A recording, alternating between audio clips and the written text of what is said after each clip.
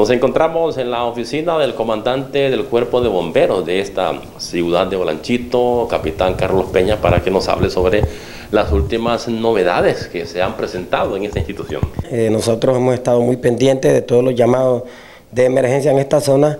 Gracias a Dios puedo decirle que fue mínimo el servicio que tuvimos, únicamente se logró eh, hacer el control de un enjambre de abejas en el sector de Locote donde ya eh, días atrás pues estas, estas abejas habían eh, matado unos animales ahí en esa zona, por lo cual el día de ayer ya se fue a solucionar el problema.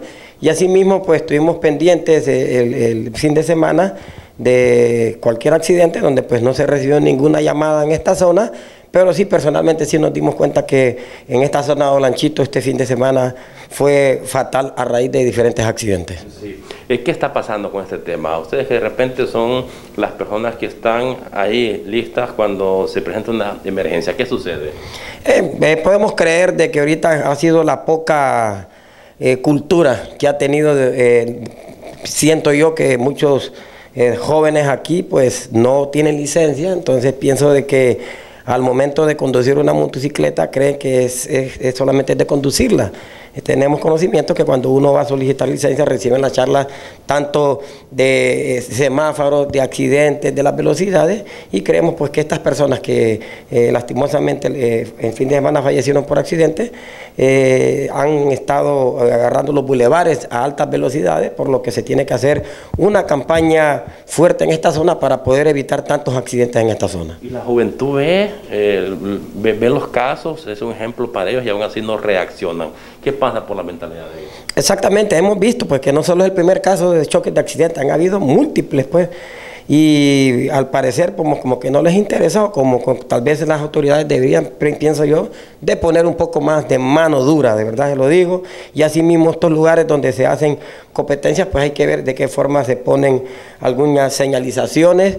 Y yo les pedirles a los padres que, le aconsejen a sus hijos, de verdad que nos entristece ver las noticias que cada día, los lunes, y que máximo presentan estos fuertes accidentes donde lastimosamente eh, varias personas perdieron la vida este fin de semana. Hemos visto accidentes fatales durante el fin de semana, cómo han quedado los vehículos, aquí nomás en Lloro también, una pareja en la zona del Negrito.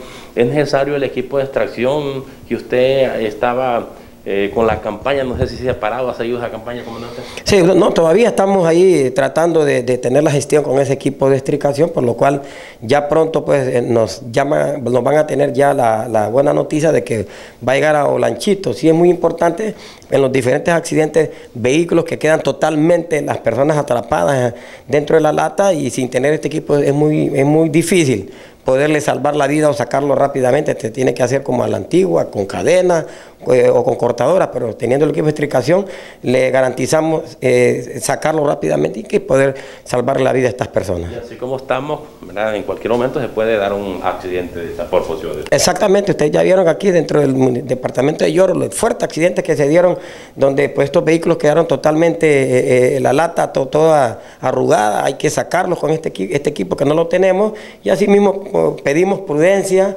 a las personas de conducirse en sus vehículos y a los jóvenes que reflexionen, que no conduzcan estas motocicletas a altas velocidades y número uno, porten su casco de seguridad. Eh, ¿Cómo están con el demás el, equipo, la logística para hacerle frente a cualquier emergencia? Eh, quiero decirle que únicamente se está, la ambulancia se está en reparación todavía ha sido un poquito complicada, pero ya creemos que esta semana ya eh, el taller la puede entregar ya para que quede en servicio y de ahí los demás vehículos, pues gracias a Dios, están en buen estado para atender cualquier emergencia. ¿La 911 también está? Claro que sí, el 911 tengo conocimiento que ha estado haciendo traslados únicamente por enfermedades y siempre, pues gracias a que ellos están aquí, pues también nos están apoyando en atender a las personas. Bueno, muchas gracias al capitán Carlos Peña, él es el comandante del Cuerpo de Bomberos en Olanchito. Ha sido un viernes, sábado y domingo fatal en Honduras, en Golanchito de igual manera, en el departamento de Oro también por accidentes de tránsito. Jesús Molina en cámaras. Para Canal 32 les informó Mario Cano.